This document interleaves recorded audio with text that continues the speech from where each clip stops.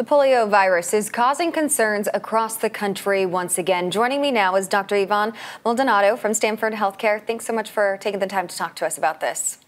Sure. Thank you for inviting me. So let's start off with what exactly is the polio virus and how does it spread? Well, polio is a, a in- intestinal virus. It's one enteroviruses that cause fevers and rashes, mostly in young children. They're summer viruses. But the three polio viruses are really uh, known for causing paralysis. And uh, we haven't seen this in many, many years. But in the 1950s, there were large outbreaks of paralysis due to poliovirus um, before we had any vaccines. And in the 50s and 60s, two vaccines were developed that really helped us uh, stop the spread of polio. It is an intestinal virus, so it can be spread from uh, poor hy- hygiene, poor sanitation, um, and also uh, sometimes rarely respiratory secretions. But the big problem in the 50s and 60s were people were worried about swimming pools and summer camps because kids could have this infection. Uh, the problem with polio is that, or the good news and the bad news is that polio, most of the time, 95% of the time, people don't have symptoms. So they don't know they're sick, which is good for them, but they could actually spread the virus. And other people can get symptomatic as well. So it's rare to see paralysis. So when you see one case of paralysis, you know there may be dozens, if not a hundred or more people who are also infected, but just not having symptoms. Okay, so how effective is the polio vaccine and how long does that protection last if you get it? Well, I have to say this is almost a, a, a, eliminated disease. With since the advent of the two vaccines in the 50s and 60s, we have seen a drop in the world from hundreds of thousands of cases in every country to today uh, less than two dozen cases in the whole world of the wild vac virus. So it is absolutely effective. It can keep people from getting paralysis, but it doesn't prevent infection. So if somebody gets exposed, even if they're vaccinated, they could in, have their intestinal tract infected.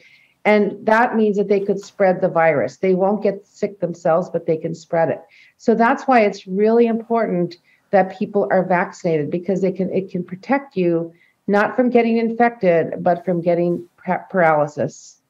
And what should older adults do if they can't find their polio vaccination records from decades ago? Should they get another shot to be safe or just say, I got it, I just can't find my info? Well, I think this is really dependent on local circumstances. Most people do recommend, most health departments recommend that people get vaccinated if you are an older adult.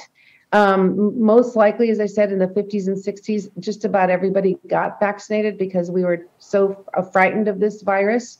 Um, but if you can't remember or don't have your records, it doesn't hurt to go back to a provider, see if they have your records. If you can't find them, talk to your provider about getting vaccinated. It is a safe, safe vaccine. It's a killed injectable vaccine.